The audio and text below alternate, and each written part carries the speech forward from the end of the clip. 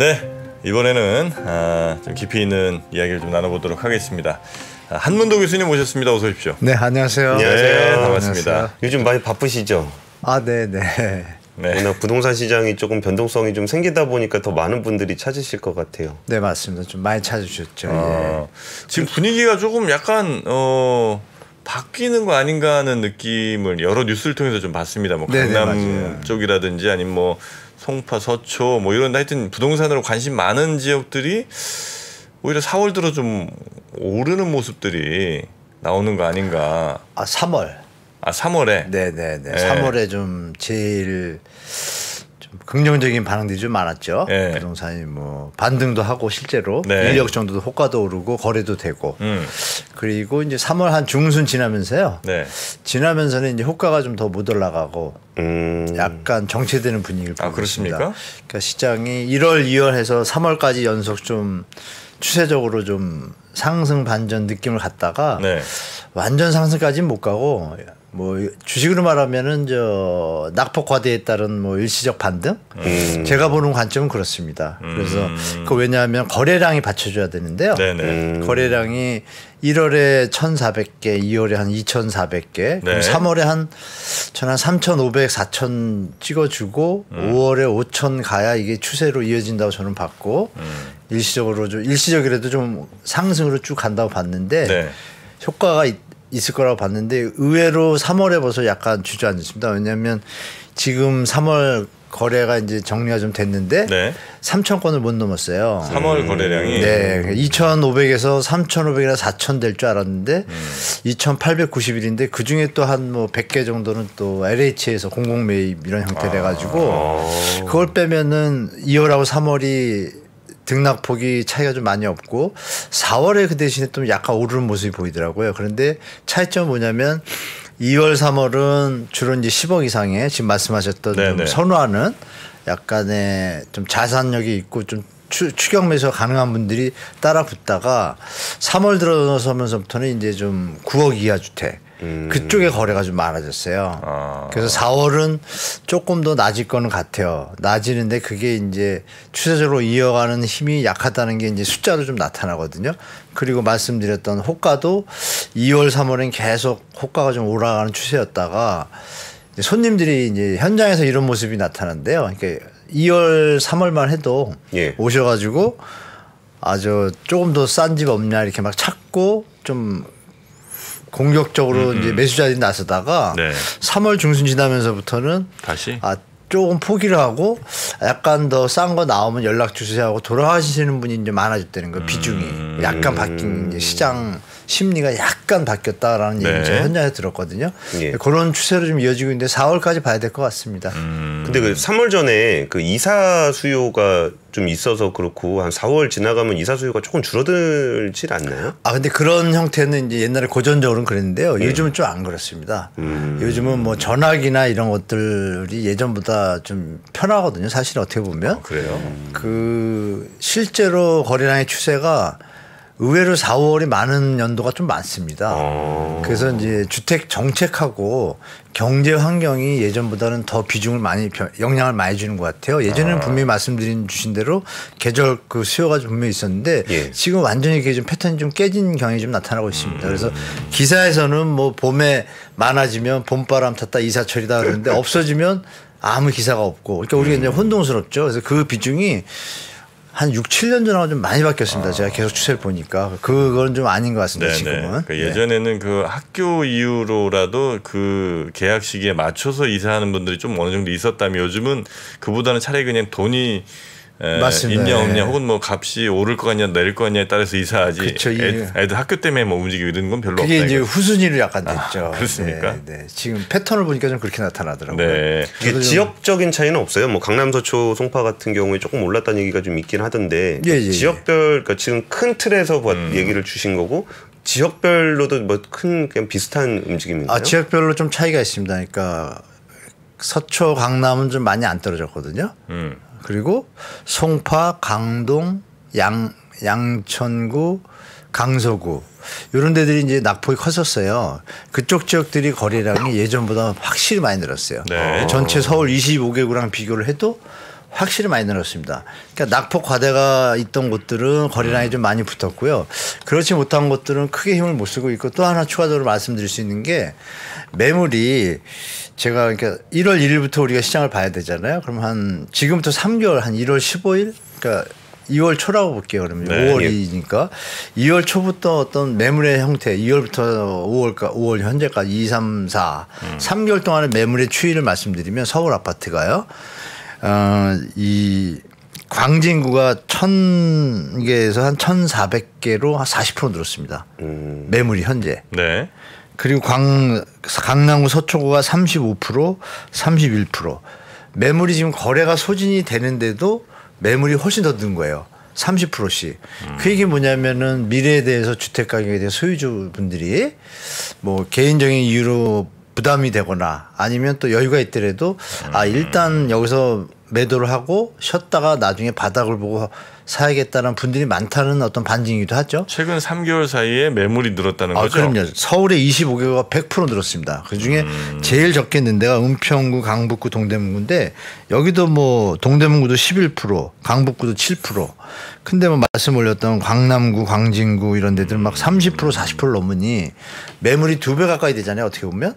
그런데 거래량이 아까 좀 아까 말씀 올려드린 것처럼 확 추세적인 게 확 올라가지 못하니까 네. 여기서 약간 지금 좀 뭐라 그러죠 밴드 음. 주식을 말하면 밴드 상에 약간 갇혔는데 이 추세가 이제 미국 금리도 올랐잖아요. 네. 뭐 이런 것들하고 뭐 PF 문제 이런 것들 하면 제가 볼때 음. 올라가는데 좀 한계가 좀 있어 보이는 느낌이 좀 많이 있습니다. 아, 네. 이 떨어졌다는 느낌이 별로 안 드는 거는 그 사는 사람 입장이라 그런 거겠죠? 아, 그럼요. 파는 분 입장에서는 지금 뭐 엄청 내려간 거죠. 음. 예. 10억 하던 게 뭐 7억, 6억 5천 이런데. 아, 그렇습니까? 아, 그럼요. 근데 교수님 항상 그 부동산 교수님에 대한 어떤 부동산 view에 대한 이미지가 네, 네. 또 하락론자 라는 이미지가 아, 좀 있잖아요. 네. 네. 정상화론자죠. 네, 그렇죠. 네. 그러, 그러다 보니까 네. 그럼 여기서 좀 얼마나 더 하락을 해야 조금 생각하는 적정 value 정도로 생각을 갤럽에서 그 4월 15일인가 매년 하거든요. 봄에 예. 갤럽에서 매년 집, 집값이 오를 것인가 내릴 것인가 이런 발표를 해요. 조사해가지고. 음. 근데 4월 15일 날 발표된 거 보니까 51%가 하락이고 18%가 상승이에요. 나머지 좀 보합이나 뭐 생각이 없으신 것 같은데 예. 그러면 일단 상승의 어떤 느낌을 가진 분들이 적다는 얘기죠. 예. 상당히. 그 와중에 매물이 많지 않습니까? 그리고 말씀 주신 어느 정도 더 추가 조정 하락이 가능하냐에 말씀드리면 계산상 수치로 근데 사람의 심리는 뭐 경제학 수치로 뭐 다 표현이 안 되지만 뭐 가, 가시효가 좀 있지 않습니까? 음. 근데 계산상으로는 성파 같은 경우에는 5에서 10%더 조정될 폭이 있고 네. 강동도 마찬가지. 그러니까 40% 서울은 40% 최고점 대비 네. 40%에서 30한 5%까지가 제가 볼 땐 적정 바, 닥이라고 봐요. 그러니까 떨어지면 네네. 서초 강남도 마찬가지고. 근데 네. 서초 강남은 이제 희소성이 있고 가수요가 있다 보니까 그 폭이 좀 줄겠죠. 한 30% 정도.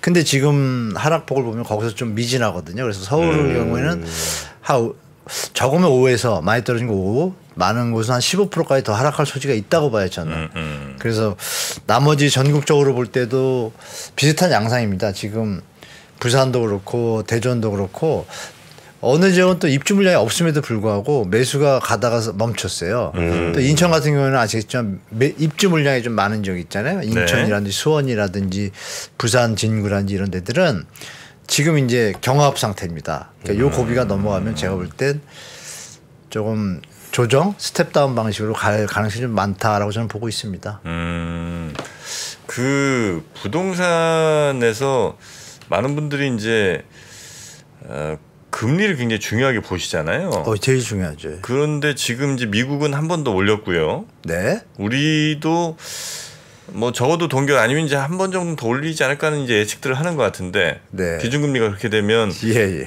예. 실제로 부동산에는 어떤 영향이 좀 있습니까?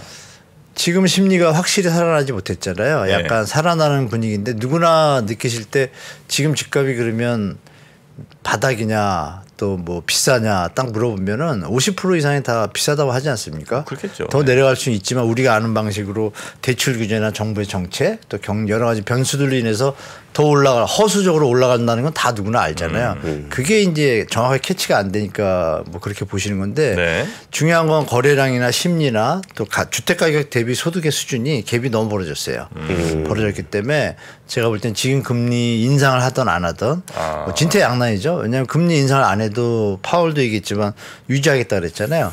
유지하겠다는 얘기는 당분간 올 한 해는 금리가 내려갈 일은 없잖아요. 네. 그럼 우리나라 내릴 수도 없잖아요. 올리기도 힘들고 내리기도 힘든 게 우리나라지 않습니까? 음. 그러면 뭐 다 아시겠지만 조금 외적이긴 하지만 환율 올라가고 변동성 올라가면 경제에 어떤 불안감 심리가 또 작동하면 부동산은 경제 심리하고 뭐 밀접한 상관관계가 있다는 게 다 증명이 됐거든요. 음. 결정적으로 가계 부채가 80에서 100% 넘고 나면 여러 가지 논문이나 해외 논문이나 국내 뭐 논문들을 봐도 그렇고 또 한국은행 보고서를 봐도 그렇고요. 가계부채 우리가 100% 넘었잖아요. 80% 넘고 1년에서 3년 안에 무조건 하락이나 경제 침체가 오는 게 거의 80에서 90% 확률입니다. 상관관계가. 음. 그러면 우리가 지금 아직 안 왔잖아요. 명확하게. 지금 자영업자분들도 어렵게 버티고 계시고 다들 그런 상황이지 뭐 경제가 좋아가지고 지금 집값을 논하기에는 뭐가 미스매치라는 느낌이 누구나 할 수 있잖아요. 그래서 네. 너무 부동산 한 시장만 보시지 마시고 경제하고 뭐 이렇게 자영업자분들 내수 상황도 같이 보시면서 시장을 판단하셔야지 음. 일희일비 하시면서 뭐 기사에서 어디 신고가 이런 거 일희일비할 상황은 전혀 아니라고 봅니다. 저는. 음. 네. 근데 지금 그 교수님 말씀 중에 그 정책 효과로 인한 네, 예, 반등 예. 말씀을 좀 주셨는데 네, 네. 그 중에서도 좀 그 뭐 특례보금자리론 신설이라든지 예. 아니면 생애 최초 주택 구입자 대출 이런 예. 것들이 상당히 조건이 좋더라고요. 아, 너무 좋죠. 예. 예. 그러다 보니까 좀 2030 쪽에서 좀 매수세가 좀 늘어나고 늘어났죠. 있다라는 예. 음. 것들이 좀 관측이 되는데 네. 이런 상황은 좀 어떻게 보셔요? 그 늘어났다고를 우리가 현재 기준점에서 보면 늘어난 건데요. 네. 영끌이나 평균 거래량이 6천 건, 영끌 할 때 뭐 만 건, 만 이천 건인데 그때도 한 10에서 20%는 2030에 매입을 했거든요. 음. 만 건에 20, 30%면은 20%만 잡아도 4천 건 아니에요. 음. 아니 저 2천 건 아니에요. 근데 지금 3천 건에서 25% 30%라고 해도 900건이잖아요. 음. 기준점에서 보면은 매입량이 완전히 줄은 거죠. 음. 그걸 한쪽 면만 부각을 해가지고 마치 100점 맞던 학생이 20점이 됐는데 30점으로 올랐어요. 네네. 그 20점에서 30점 오른 것만 보더라면 안 되죠. 음. 100점이란 기준점을 줘야지 우리가 정확하게 판단하잖아요. 그러니까 기사에서 지금 말씀하신 매입 비중이 늘어났다는 게 말씀하신 특례보금제라고 생애 최초 무주택자 이게 조건이라는 것보다는 음. 심리적으로 자기가 선택만을 할 수 있잖아요. 사실 음. 아 내가 좀 무리가 되든 안 되든 오케이 하고 사인만 하면 살 수 있거든요. 네. 그런 상태이지 조건이 좋다라고 볼 수는 없는 거죠. 제가 볼 때. 음. 왜냐하면 좋다라는 개념은 저금리일 때.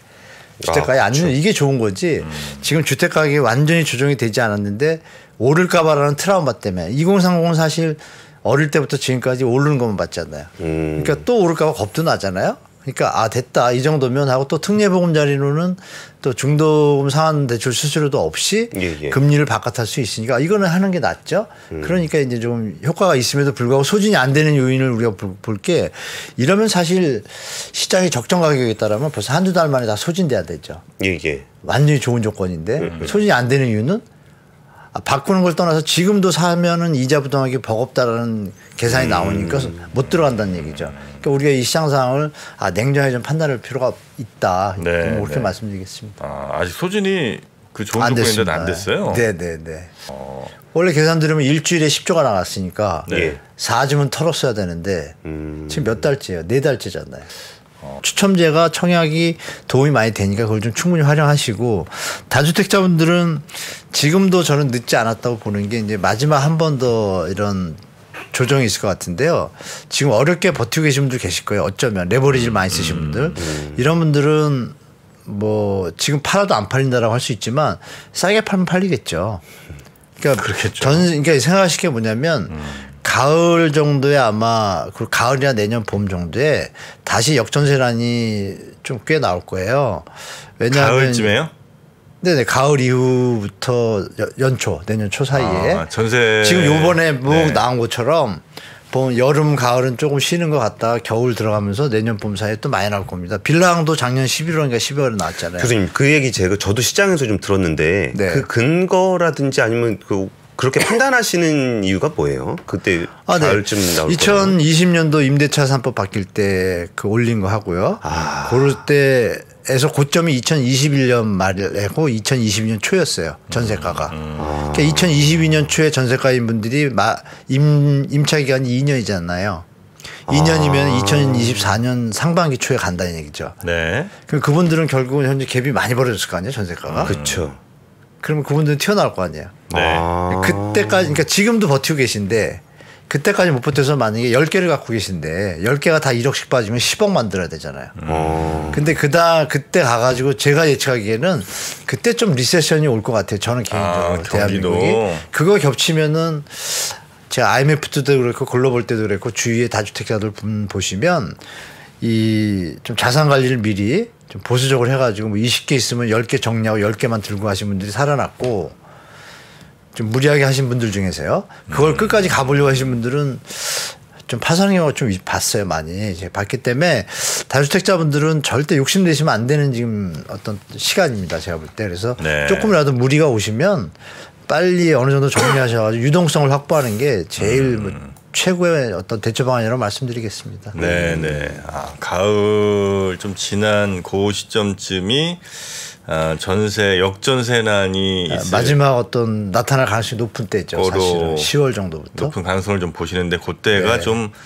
어찌 보면 누구에겐가는 굉장히 위험한 시기고 누구에겐가는 아주 좋은 기회가 될 수도 있는 이제 뭐 국민들이 기회라는 느낌이 어, 안들 거예요. 피해자가 너무 심하니까. 아, 네. 어. 물론 무주택자 입장에서도 네네. 집이 내려오길 바라지 그렇게 피해자가 생기는 걸 바라지는 않잖아요. 뭐 그렇겠죠. 네, 그러니까 그 부분은 이제 좀 나눠서 생각할 음. 필요는 있는 것 같습니다. 굉장히 하여튼 연말이나 요즘은 좀 안 좋은 시장이 될 거라고 보시는 거네요, 그죠? 아 저는 안 좋다라는 표현을 하는 게 아니라 네. 추가 조정 정상화를 위한 추가 조정이지 아, 네. 주식은 당연히 자기 밸류를 찾아가잖아요. 음. 부동산은 왜 밸류를 안 찾아가죠? 여러분들이 아시는 투기꾼과 세력과 이런 일부 세력들의 어떤 시장 왜곡 이런 것들이 극대화될 때가 언제냐면 공포심이 자극되고 저금리고 환경이 좋을 때거든요. 음. 근데 지금 환경이 다 안 좋잖아요. 그러니까 안 좋으니까 이거를 예전처럼 폭등장 기대하고 투자하시거나 이런 때는 절대 아니다. 그래 음. 추가 조정을 올 가능성이 상당히 많은 시점이잖아요. 네. 그러니까 이건 지나고 나서 파도가 치는데 굳이 가서 뭐 보틀 띄울 일 없잖아요. 파도 음. 좀 지나고 음. 기다려 보신 다음에 나가셔도 큰 문제가 없는 시장 상황이다라고 좀 말씀드릴게요. 네. 요즘에 일본은 네네. 조금 부동산 쪽이 진 그러니까 완전 히 밑으로 내려가고 있는 분위기는 조금 아닌 것 같은데. 네, 거기는 좀 약간 반등 분위기죠. 그, 죠 그거 한국 일본 부동산을 이제 연결시켜서 많이들 설명을 하는데 좀 어떻게 좀 보세요? 그러니까 옛날 흐름도 있었겠지만 지금의 오늘과 지금의 일본을 비교해 보면. 그러니까 일본에 대해서 말씀드릴까 아니면 한국과 일본을 비교해서 말씀드릴까요? 어, 말씀 주신 게. 그러니까 사실 우리가 일본 얘기할 때는 장기 침체를 좀 아, 얘기를 했었던 거잖아요. 그래서 아, 대한민국은 어떨까? 네. 아, 네. 대한민국하고 일본하고 비교를 꼭뭐 간단하잖아요. 경제 뭐 성장률하고 인구 감소 추세하고 또 고령화 추세를 좀 기본적으로 보시면 되는데요. 일단 고령화는 우리가 더 빠릅니다. 빠르고 인구의 감소나 핵심 주택 구매 핵심 연령 이 인구의 감소 추세도 거의 흡사해요. 그리고 대출 부분에 있어서는 일본은 NINJA 대출 했잖아요. 뭐 no, no job, no income. 일이, 일이 없어도 뭐 120%씩 대출해서 아, 예, 받아 예, 예. 했는데 대한민국은 그나마 이제 뭐 노무현 대통령 때부터 그 전 때부터 좀 DTI나 이런 걸 자꾸 뭐 규제라는 느낌을 받았지만 적용을 해가지고 일본보다 이렇게 pumping이 많이는 안 됐습니다. 그래서 그 음. 부분은 이제 다행이고 그럼에도 불구하고 가계부채가 심각하잖아요. 네. 그럼 이제 객관적인 지표를 비교할 게 이제 GDP 대비 부동산 가치 가격. 음. 이게 지금 일본 버블 때 수준이랑 지금 비슷합니다. 대한민국이. 음. 거의 차이가 없고요. 네. 또 가처분 소득 대비 그 가계부채 비율이라는 수치가 있는데 음. 그 부분이 일본이 140 정도일 때 버블 터졌어요. 음. 근데 대한민국이 OECD 기준으로 200을 넘었고 한국은행 기준으로 173이에요. 네. 이미 좀 넘어섰죠 임계점을. 그러니까 우리가 가계부채 문제가 심각하다고 얘기하는 것이고 음. 게다가 뭐 피케티 지수라고 또 있습니다. 여러 가지 지표들상 일본하고 거의 똑같은 수준. 피케티 지수상에 6.9일 때 일본이 버블 터졌거든요. 네. 근데 대한민국이 작년에 6.7 찍었어요. 음. 그러니까 거의 흡사한 요인이 너무 많아요. 다른 점은 이제 전세 리스크가 추가된다는 점하고 그리고 하나는 민족성이 다르다는 거. 우리는 학습 효과가 있다는 거. 후배인데 선배가 잘못된 걸 볼 수가 있잖아요. 네. 좋은 선배는 아니었지만 음흠. 그 선배가 한걸 보니까 어 우리는 미리 대비할 수 있는 어떤 학습 효과가 있어가지고 그분에 대한 모니터링이 좀 잘 돼 있습니다. 음. 그러니까 결론적으로 말씀드리면 아 우리는 학습 효과가 좋고 근데도 그럼에도 불구하고 추세는 같으니까 결론은 거죠. 방향성은 같이 가는데 음. 그 침체의 폭 진폭이 일본보다는 덜할 것이고 회복 회복은 일본의 단점은 그 가오라 그래야 될까요? 자기들이 세계 1위 달리니까 어깨 잡고 음. 있다가 타임을 놓쳤고 음. 우리는 이제 쫓는 입장이다 보니까 쫓고 나서도 트라우마가 있잖아요. 우린 계속 음. 가야 된다라는 좋은 트라우마죠. 음, 음. 그러다 보니까 우리는 반도체를 넘어서 2차 전지 막 계속 성장 산업을 이어서 R&D가 잘 가고 있잖아요. 일본은 그때 멈췄고. 네. 그러니까 우리는 장기 침체가 만약 일본처럼 오더라도 음. 회복력이 일본하고 비교가 안 될 거라고 좀 추측이 돼요. 음. 아 우리는 오더라도 짧은 시간에 IMF에서도 이미 증명했잖아요. IMF 사태 때도 금 모으는 국민이 전 세계 음. 우리나라밖에 없으니까 네. 일단 민족성이 너무 좋아요 대한민국이 그래서 어려울 때는 또 한 마음이 다 되잖아요. 그 그러면 이제 제가 볼 때는 회복력이 빠르기 때문에 네. 일본 같은 뭐 장기 침체 20년 30년을 갈 것 같지 않습니다. 음. 그러나 그 시기는 온다 오고 진폭은 작지만 되는 기간이 있을 것이다. 그거에 대해서는 좀 대비는 필요하겠죠. 네. 네, 네.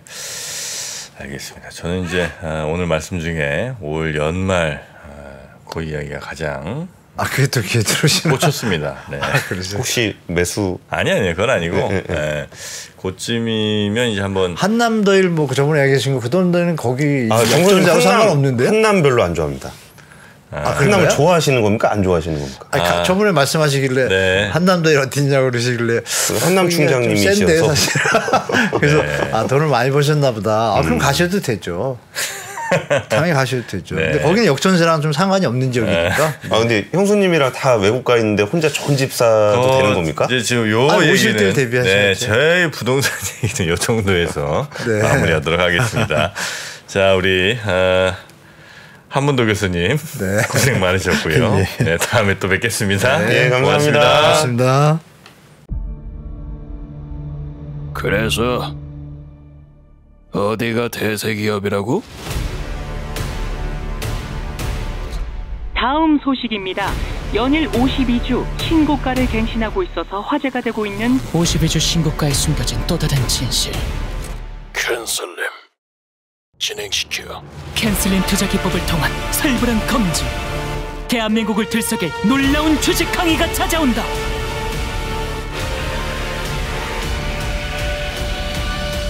기업 탐정 채슬리 52주 신고가 CAN SLIM 분석 영상 하단의 링크 혹은 3프로 TV 앱을 확인하세요.